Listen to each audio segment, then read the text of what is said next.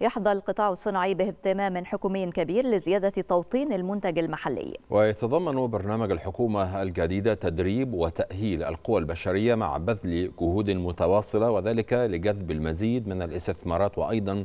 استكمال توطين الصناعات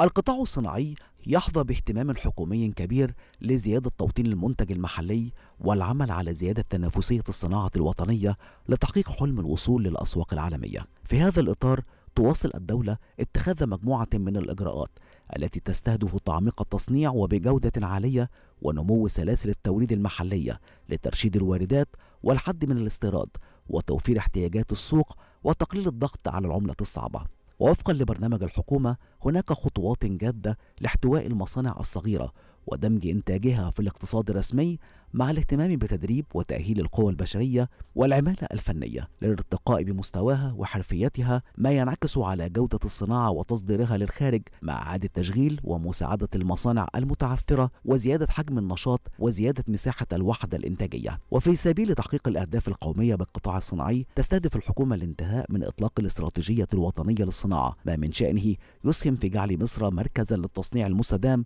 ولاعبا رئيسيا في التجارة الدولية. من خلال تحسين مناخ الأعمال والوصول بمعدل نمو سنوي لإنتاج قطاع الصناعة بالأسعار الجارية نحو 31.2%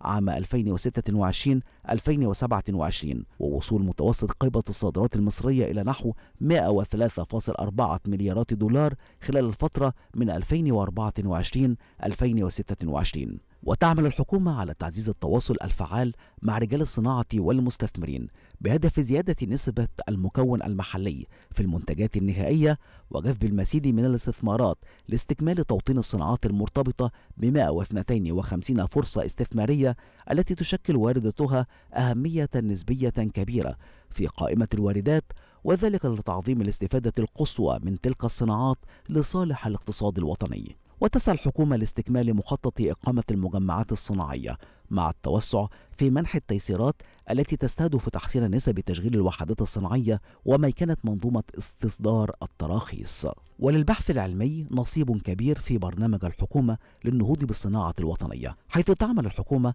على دعم البحث والابتكار في قطاع الصناعة ونقل التكنولوجيا الحديثة إلى القطاعات الصناعية وحماية الملكية الفكرية لتحقيق مردود اقتصادي على المستوى المحلي في قطاع الصناعة بما يتماشى مع رؤية القيادة السياسية